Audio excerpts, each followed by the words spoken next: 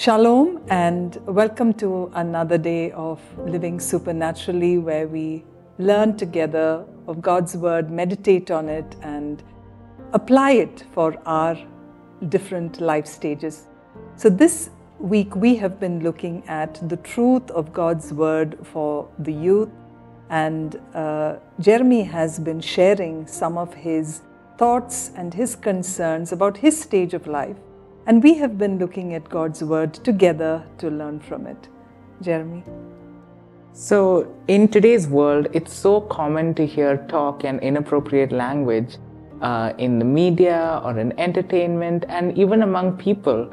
Um, and I wonder why people do that and what our response should be as Christians.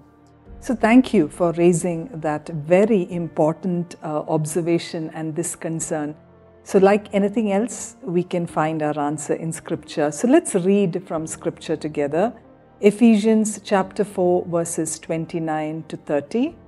Let no corrupt word proceed out of your mouth, but what is good for necessary edification, that it may impart grace to the hearers. And do not grieve the Holy Spirit of God, by whom you were sealed for the day of redemption. So, you know, the corrupt word that Paul refers to here could be anything um, like taking the Lord's name in vain or speaking in mean spirited ways or, you know, even using certain vulgar language. And we see that there are implications of this corrupt and this unwholesome talk. And it says um, that it is not useful.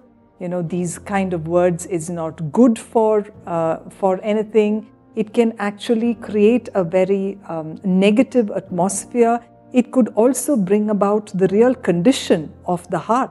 So, what is the purpose of our tongues? Why has God given us tongues? And Scripture shows us again and again that our tongues should be give, should be used and have been given to us to give God glory, to speak of His praise, to talk about His goodness, and to speak about the wonderful grace of God uh, for us. So, what do we do? And I think there are certain um, directions that are given in this verse here. So, the first direction is to, the verse gives us a direction to say that to stop what we are doing, to cease from it coming out of our mouths. So, it would just, you know, sometimes just naturally flow, but we should be doing something to stop it.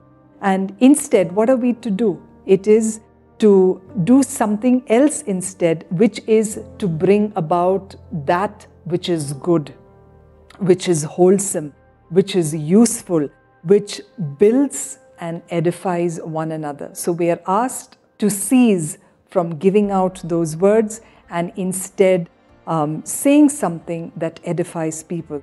So if you look back in that verse, we are also to consider who is living within us. The Holy Spirit lives in us, and we are representing the Holy Spirit to others as we as we speak, because He is. Um, we are His temple, and what we say brings Him glory. We are also asked not to grieve the Holy Spirit by what we say. So, as you go out, as you meet with people, um, help yourself to understand and direct yourself to keep away from speaking that which is not wholesome, but to edify others by, by speaking good, by speaking things that are lovely, that are pure, that are trustworthy. Shall we pray together? Heavenly Father, we thank you that you have given us such an important part of our body, our tongues, that we can use to glorify your name, build others, and edify others. We pray that we will pay attention to your word, to keep away from unwholesome talk, and instead to say things that are whole, to say things that are pure. We pray that you would give us the grace.